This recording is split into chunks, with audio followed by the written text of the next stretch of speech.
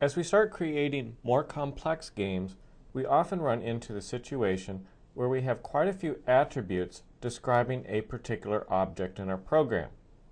For example, if we were doing an adventure game, we would have statistics such as the character's name, the character's sex, the character's hit points,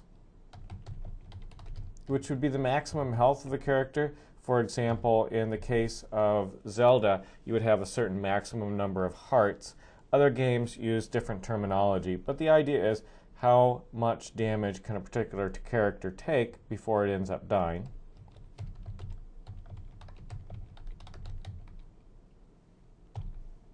The current number of hit points we have out of that maximum, and let's go up here and put max on this, max hit points and current hit points. Now, whenever we have a function or a set of code that needs to work with character, we need to pass in all of these different variables. For example, this function, display character, will display what's going on with the character, and we need to pass in the name, sex, max, hit points, current hit points,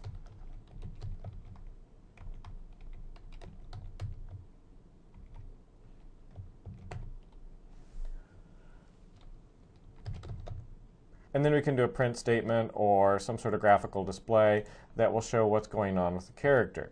In this case, I'll just keep it simple. The actual display isn't what we're really concerned about.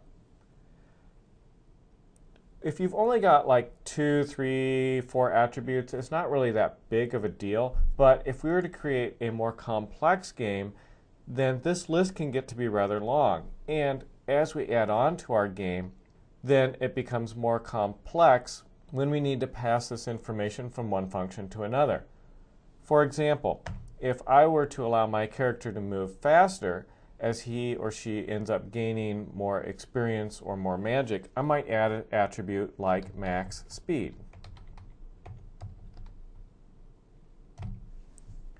The max speed is like 10 meters per second or something. Then everywhere I've got a function that works with a character, I'll need to in add in max speed.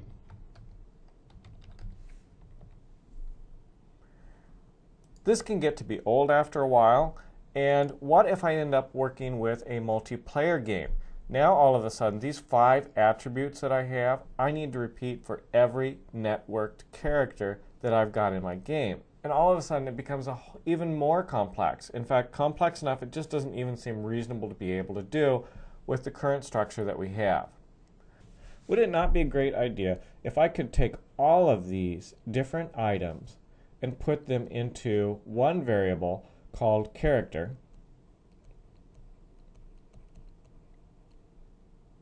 And then take that particular variable and pass it in and not have all of this, but just pass in character. Then if I add a new field to character, it's automatically passed everywhere that I pass the character variable making it a lot easier and a lot less time consuming to add new stuff. Well, the way to do that inside of Python and a lot of other languages is to use something called a class. A class can do this and it can do a whole lot of other really interesting things. But right now we're just going to concentrate on taking a whole bunch of attributes and putting them together in one class.